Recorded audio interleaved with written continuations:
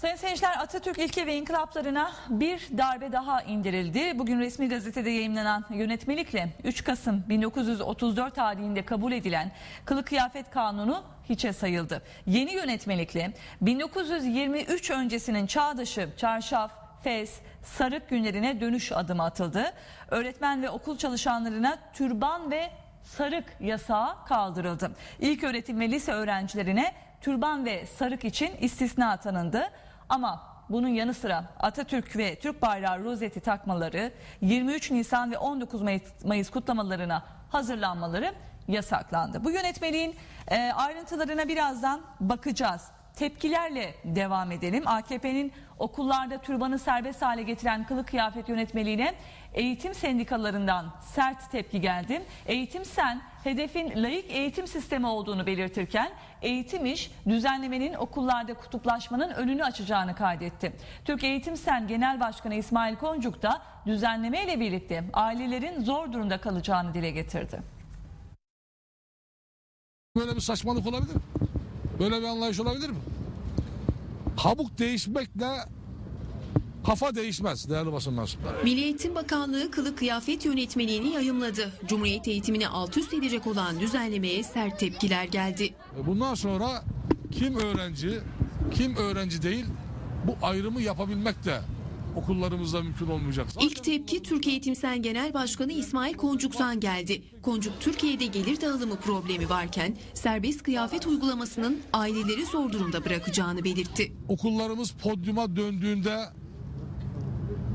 bu fakir fukaranın çocuğu bu podyum yarışında nasıl yarışacak?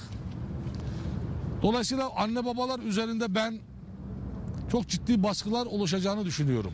Uygulamayı eleştiren bir diğer sendika ise eğitim işti. Sendikanın yaptığı yazılı açıklamada düzenleme ile birlikte kılık kıyafet serbestliğinin amacının eğitimi dinselleştirmek olduğu vurgulandı. Sendikaya göre iktidar uygulama ile birlikte kamplaşmalara yol açacak. Sınıflar ikiye bölünecek.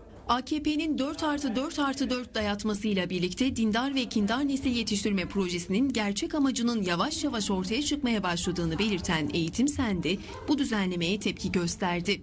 Eğitim Sen yeni yönetmeliğin ailelerin ekonomik durumunu göz ardı ettiğine dikkat çekti. İktidarın asıl sorunu serbest kıyafet değil, layık eğitim anlayışı ifadesini kullandı. Tepkilerle devam edelim. Kıyafet serbestliği adı altında çıkartılan yönetmeliğe Denizli'den de tepki geldi sayın seyirciler. Eğitimciler ve veliler uygulamayla layık eğitim sistemine darbe indirildiğini belirtti. Kıyafet serbestliği adı altında Bakanlar Kurulu tarafından kabul edilerek yürürlüğe konan gerici kıyafet yasasına eğitimciler ve velilerden tepki geldi. Yönetmeliği ulusal kanala değerlendiren Eğitim İş ve Eğitim Sen yöneticileri AKP'nin kılık kıyafet serbestliği adı altında çıkardığı yönetmelikle layık eğitime bir darbe daha vurulduğunu söyledi.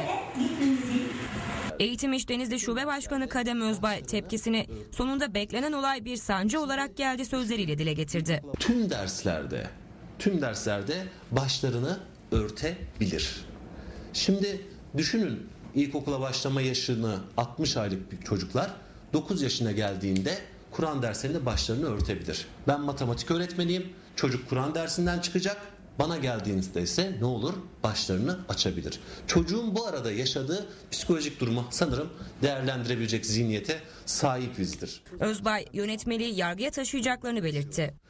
Biz eğitimmiş olarak bunu gerekli mahkemelere taşıyacağız. Hukuki girişimlerimizi yapacağız. Ee, ve aynı zamanda gerekirse İnsan Hakları Mahkemesi'ne de konuyu götüreceğiz. Yönetmeliğe bir tepki de Eğitim Sen'den geldi. Eğitim Sen Denizli Eğitim Sekreteri Hayati Demir, AKP iktidarı döneminde eğitimde yaşanan dinselleştirme uygulamalarının kaygı yarattığını vurguladı. AKP döneminde eğitimde yaşanan yoğun dinselleştirme uygulamaları dikkate alındığında serbest kıyafet gibi olumlu sayılabilecek bir düzenlemenin iktidar partisi tarafından kendi siyasal ideolojik yaklaşımı üzerinden istismar edildiği açıktır. Demir, kararın yıllardır layık eğitim anlayışına karşı yürütülen amansız mücadelenin bir yansıması olduğunu kaydetti. AKP'nin 10 yıllık pratiği sorunun serbest kıyafet sorunu olmadığını, yıllardır layık eğitim anlayışına karşı yürütülen amansız mücadelenin bir yansıması olduğu gösterilmektedir. Uygulamaya veliler de tepki gösterdi. çocukların ayrı yani kıyafetlerinin serbest olmasına ben karşıyım. Ufacık çocuklar kimisi zengin, kimisi fakir. Durumu iyi olanlar giysilerini iyi bir şekilde gösterecekler. Durumu iyi olmayanların şey olacak. En azından bir önlük. Hani bir okulun her okulun kendine göre bir giysisi olursa daha iyi olur. Sonra ufacık çocuklarının başını bağlamak da ne demek? Ben bunlara karşıyım. ayrıma yol açacağını düşünüyorum. Şu şekilde e, bizim çocuklarımız şu anda küçük. E, belli şeylerin farkında değiller. Mesela bu marka tutkusu olabilir. E, ama ikinci kademe için düşünürsek işte e, diğer arkadaşları ikinci kademede markalı giydiği için başka çocuklar da isteyebilir. Aynı Avrupa'da öyle. Zaten uzun sürede Avrupa'da kaldım ben. Fakat bizim şartlarımıza uymaz diye düşünüyorum. Kıyafet e, tek tip kıyafet olursa, forma gibi, önlük gibi olursa daha e, düzenli olur diye düşünüyorum. Eğer herkes sivil kıyafetle gelecek olursa öğrenciler arasında ayrımcılığa yol açacağını düşünüyorum. Türbanın da okula girmesini sakıncalı buluyorum. Çünkü onu simgesel olarak düşündükleri için. Evet, e, Milli Eğitim Bakanlığı türbanı ilkokula indirdi. Az önce Denizli'deki yurttaşların tepkilerini aktardık. İstanbul'da da biz sokaktaydık. Acaba İstanbul'da sokaktaki yurttaş bu duruma ne dedi? İzliyoruz. Olur mu öyle şey ya? 18 yaşından sonra taksın istediği gibi. Ondan önce olmaz. Ama ben takacağım diye ısrar ediyor adam. Kızı da diyor ben takacağım diyor ağlıyor. Onlara ayrı bir sınıf yapmak lazım. okula gidiyor mu gitmiyor mu belli değil. En azından kıyafetleriyle anlıyorduk okula gittiğini. yanlış yapıyorlar. Yani turban ilkokulda şurada burada olmaz. Hani üniversiteden başladılar. Ondan sonra lise, ondan sonra ortaokul, şimdi de ilkokul. Vatandaşın başıyla, saçıyla uğraşmasınlar. Şimdi zorlayacaklar. Öğrenciler arasında ayrım yapacaklar. Turbanlıdır, turban dil değildi diye ayrım yapacaklar. Yani ilkokula bunu sokmamak lazım. Zaten milleti yeteri kadar böldüler. Bir de bununla bölmesinler. Valla kardeşim biz Atatürk ilke ve inkılaplarına göre layıklı bir adam. Din ayrı, devlet ayrı. Bunu niye yaptıklarını biz de bilmiyoruz yani. Bir şeyler oluyor Türkiye'de ne olduğunu bilmiyoruz. Bunu yapanların niyeti belli. Allah sonumuzu hayır etsin diyorum. Bir bayanım ama o şeye tepkiliyim yani o yaşta. Çünkü çocuklara kısıtlı oluyor. Ne bileyim yani sonra daha çok ben karşıyım. Ben kendi kızım bile soruyor bana anne okula giderken böyle bir yasa koysalar bana ne dersin? Ben yok derim. Peki Başbakan Tayyip Erdoğan türbanı ilk öğretime indiren yönetmelik değişikliğiyle ilgili ne dedi? Herkes beğenecek diye bir şey yok. Herkese hayırlı olsun dedi. Yüzde yüz herkes beğenecek diye bir şey yok. Milli eğitime darbe indiren kılık kıyafet yönetmeliğini değerlendiren Başbakan Tayyip Erdoğan, herkese hayırlı olsun dedi. İspanya'da konuşan Erdoğan, yönetmeliği herkesin beğenmesi gerekmediğini söyledi. Siyasette bir gerçek vardır. Attığınız her adımın beğenenleri olur, beğenmeyenleri olur. Yüzde yüz herkes beğenecek diye bir şey yok. Eğer böyle bir adımı atmaya, yürütme kendini görevli hissediyorsa demek ki bir yerde bir sıkıntı var. Bir sıkıntı olduğu içindir ki bu adım atılıyor. Erdoğan, herkesin istediğini giymesini savundu.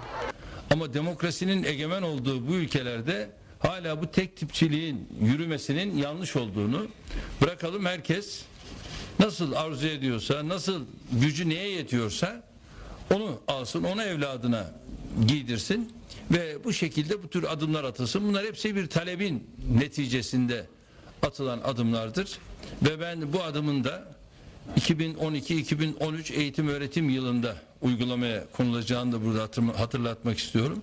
Ve e, yapılan bu iş tabii bütün kamuoyu araştırmalarına dayalı olarak da bizim attığımız bir adımdır. Ve hayırlı olacağına inanıyorum. Ve şimdiden de bütün yavrularımıza hayırlı olsun diyorum. Erdoğan, Türkiye'ye konuşlandırılacak patriotlarla ilgili de konuştu. Erdoğan, NATO heyetinin patriotlar için yer keşfi çalışmalarını sürdürdüğünü belirtti. Şu anda NATO'dan görevlendirilen heyetler ülkemize gelmiş ve Türk Silahlı Kuvvetlerimizden de görevlendirilen e, arkadaşlarımızla birlikte bölgede çalışmalarını sürdürüyorlar ve bu bölgedeki çalışmalar neticesinde de konuşlandırmaların nerelerde olacağını bunu belirleyecek ve adımlarını da ona göre atacaklardır.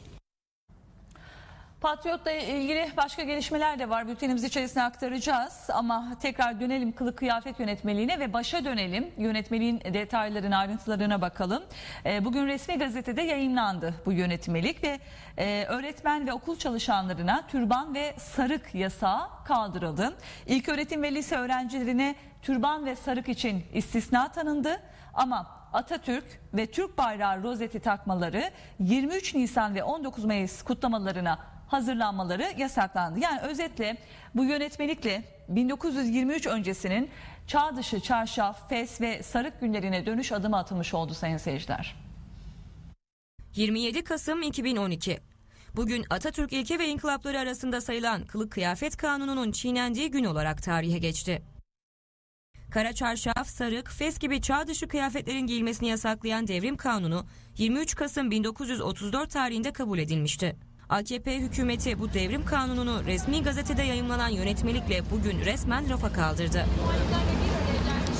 Yeni yönetmeliğe göre öğretmen ve okul çalışanlarına türban, çarşaf, sarık ve cübbe serbestliği getirildi. Kılık Kıyafet Kanunu'na göre düzenlenen 22 Temmuz 1981 tarihinde yürürlüğe giren Milli Eğitim Bakanlığı ile diğer bakanlıklara bağlı okullardaki görevlilerle öğrencilerin kılık kıyafetlerine ilişkin yönetmelik yürürlükten kaldırılmıştır. Yeni yönetmelik okullarda 23 Nisan ve 19 Mayıs hazırlıklarına da set çekti. Üstelik bunu veliye yardım gerekçesiyle yaptı. Okullarda özel gün hafta ve kutlamalarda ders içi ve ders dışı faaliyetlerde kullanılmak üzere veliye mali yük getirecek özel kıyafetler aldırılamaz. Okullarda serbest kıyafet adıyla yayımlanan yönetmelikte Atatürk ve Türk bayrağı rozetlerine de yasak geldi. Öğrenciler öğrenim gördükleri okulun arması dışında rozet ve benzeri takılar takamaz. Ve son olarak türban ve kara çarşaf gibi kılık kıyafet yasakları da ilk kez resmen çiğnendi. Kız öğrenciler İmam Hatip ortaokul ve liseleriyle çok programlı liselerin İmam Hatip programlarında tüm derslerde, ortaokul ve liselerde ise seçmeli Kur'an-ı Kerim derslerinde başlarını örtebilir. Kılık kıyafete türban ve çarşaf yasağı kaldırılırken çağdaş giyime yeni yasaklar geldi. Yeni yönetmelikle 5 yaşında okula başlayan çocuklar da dahil olmak üzere lise sonuna kadar tüm öğrencilere padişah fermanı gibi bir yasak maddesi getirildi. Öğrenciler şort, tayt gibi kıyafetlerle dizüstü etek, yırtmaçlı etek, kısa pantolon, kolsuz tişört ve kolsuz gömlek giyemez.